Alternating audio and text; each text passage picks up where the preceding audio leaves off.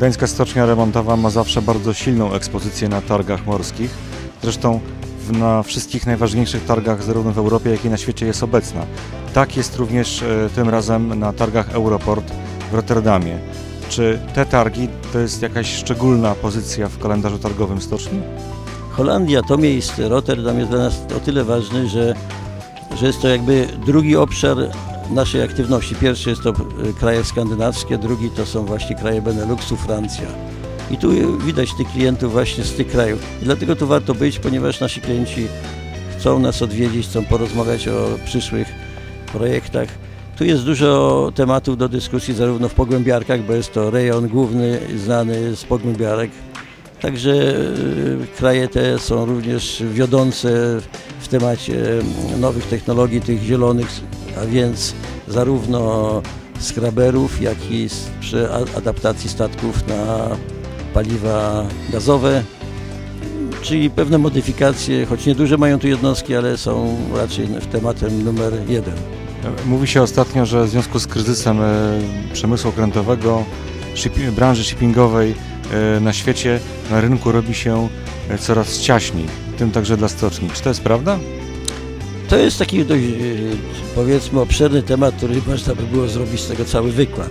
Ja przede wszystkim się nie zgadzam z teorią, że, że jest jakiś szczególny kryzys na świecie. Takiego kryzysu nie ma.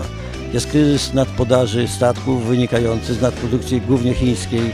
Chińczycy no, zrobili dużo, żeby doprowadzić do tej sytuacji, szczególnie w przemyśle e, balkarierów, tankowców. Ale to się trochę ustabilizowało. Jest oczywiście problem niskiej ceny ropy. To problem jednych cieszy, dla jednych jest zbawieniem, bo jest tania benzyna, no relatywnie tania.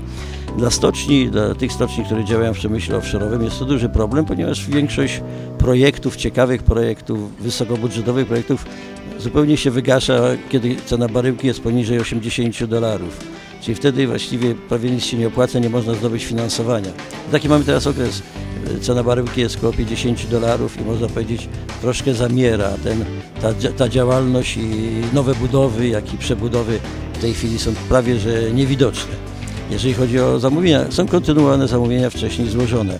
Czyli to jest, to jest problem, ale Y, może- Możemy powiedzieć, że do pewnych rzeczy trzeba się przyzwyczaić. To nie ma tak, że, że nie jest taka sytuacja, że, że wszystko wraca tak jak było to 20 lat do sytuacji. Ona się zmieniła. Już nigdy nie będzie pewno w Europie tak, żebyśmy mieli jak Europa 45% udziału produkcji okrętowej. No, dzisiaj ma Europa około 9% jeżeli chodzi o wielkościowo, jaka 12% jeżeli chodzi o wartość, czyli wartość sprzedaży z uwagi na to, że budujemy te statki bardziej zaawansowane technologicznie, bardziej luksusowe. W związku z tym, mimo 9%, 9% udziału w wielkości ogólnej, powiedzmy, udziału w tej budowie, to wartościowe jest to 12%.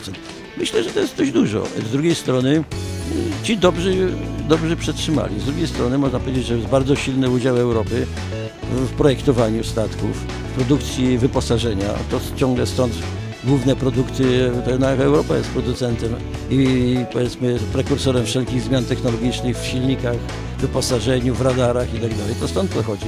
Czyli biura projektowe, można powiedzieć, że, że jedna trzecia co najmniej, ale ja bym, to może bym zaryzykował, że połowa biur projektowych jednak jest w Europie. To jest duży udział w gospodarce morskiej i tu to widać na tych targach. Zmieniła się sytuacja. Nie ma prostych statków, nie ma ciężarówek i ich nie będzie już. Na tych targach e, poza e, Gdańską Stocznią Remontową na stoisku e, grupy kapitałowej Remontowa Holding jest także kilka innych dużych europejskich stoczni konkurencyjnych. Jak Europa sobie radzi z konkurencją? Jak Remontowa radzi sobie z konkurencją? E, Czym się wyróżnia jej oferta?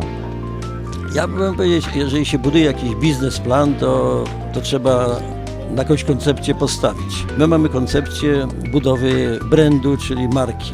Marki remontowej. Uważamy, że ta marka była budowana przez lata, kiedy mnie tu jeszcze nie było w tej stoczni, bo poprzednicy, a i dużo jest ludzi, którzy ją budowali, szczególnie jeżeli chodzi o pana Piotra Sojkę, głównego powiedzmy, że tak powiem, dyrygenta tego wszystkiego i to ma olbrzymi udział. I w związku z tym my tylko to poprawiamy, po, poprawiamy krok za kroczkiem, powiedzmy coś tam do tej cegiełki dodajemy.